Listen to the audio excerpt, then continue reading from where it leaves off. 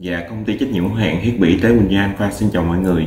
Dạ, hôm nay xin được giới thiệu sản phẩm sản phẩm máy đo huyết áp điện tử đến từ thương hiệu Uwell, một thương hiệu đến từ Đức và sản phẩm sẽ có model là IE670CG.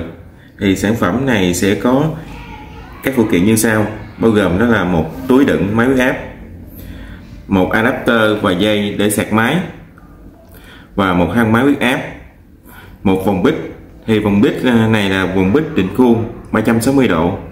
Và kích thước của vòng bít sẽ là 18 cm đến 36 cm tùy vào à, bắp tay nhỏ và lớn đều mang được. Và sản phẩm này có một ưu điểm, đó là sản phẩm này sẽ có thông báo kết quả bằng giọng nói. Và kế tiếp, đó là pin. Thì pin của sản phẩm này là pin sạc. Thì à, mỗi lần sạc đầy, mình có thể đo được khoảng 300 lần thì à, pin sạc này giúp chúng ta có thể tiết kiệm một khoản chi phí để à, không cần sử dụng à, pin mua ở ngoài. Đây để em hướng dẫn cho mọi người. Thì để sử dụng máy á, đầu tiên mình có thể cài đặt ngày và giờ.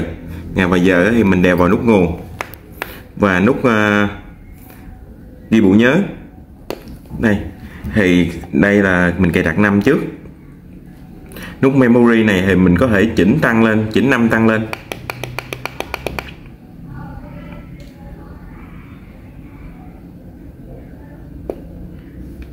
Xong mình xác nhận bằng nút nguồn. Đây là tháng ngày thì mình coi nó đúng hết chưa mình xác nhận. Còn chưa đúng thì mình sẽ tăng lên bằng nút memory này. Xác nhận cái. Đây là cài đặt giờ giờ thì kiểu hiển thị đó là 24 giờ thì hiện tại à, giờ là 15 giờ 58 thì em xác nhận ha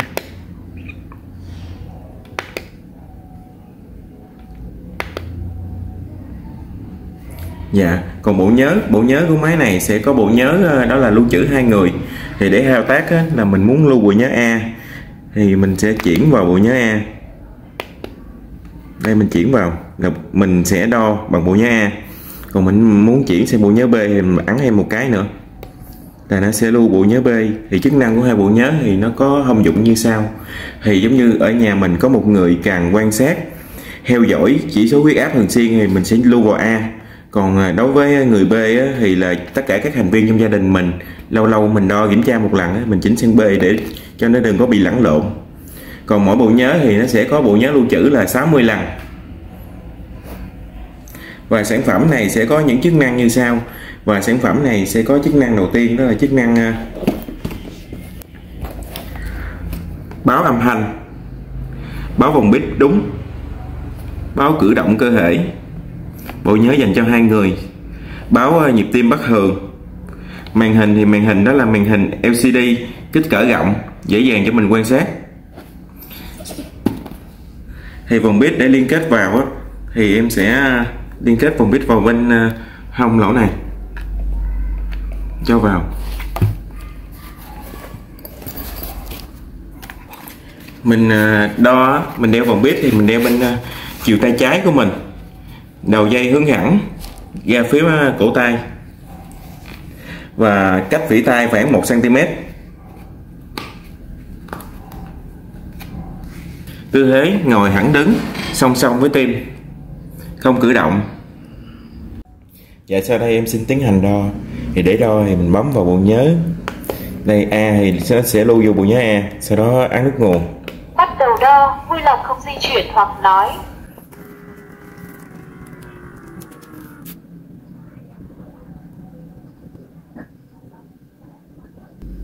Huyết áp tâm thu 118 mini thủy ngân.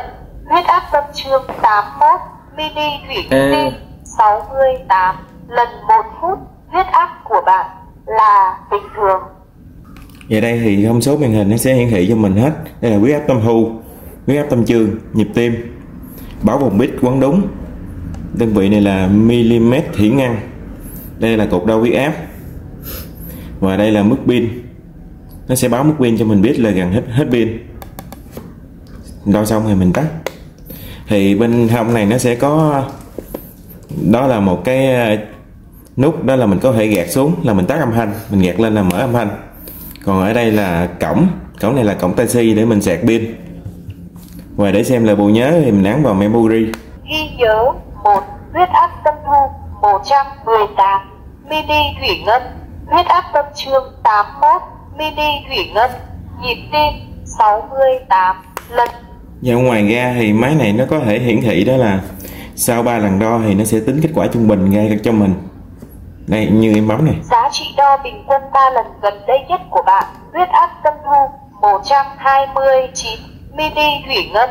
Huyết áp tâm trương 88 Mini Dạ video giới thiệu sản phẩm máy đo huyết áp Uwell IE670 CG đến đây là kết thúc. Xin cảm ơn mọi người đã xem video.